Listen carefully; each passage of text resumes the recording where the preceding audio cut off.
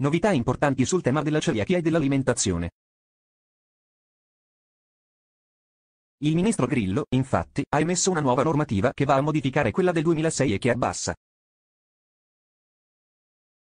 il limite posto ai rimborsi a seconda delle fasce d'età e del sesso, 110 euro, anziché 140, per gli uomini dai 18 ai 59 anni,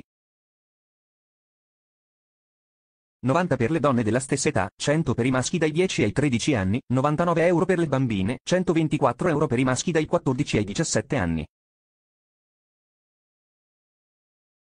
in apertura fornisce tutti i dettagli del caso e le regioni hanno tre mesi di tempo per adeguarsi.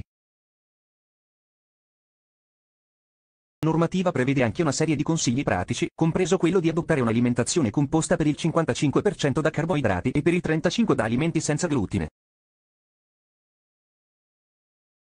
Scenario in evoluzione anche al pronto soccorso. Arriva il codice Lilla, destinato ai pazienti afflitti da disturbi dell'alimentazione quali anoressia, bulimia e binge eating. Lo scopo è quello di aiutare il malato a comprendere la natura del disturbo e a fornire un modo pratico per gestire i pasti, con o senza l'ulteriore ostacolo della celiachia.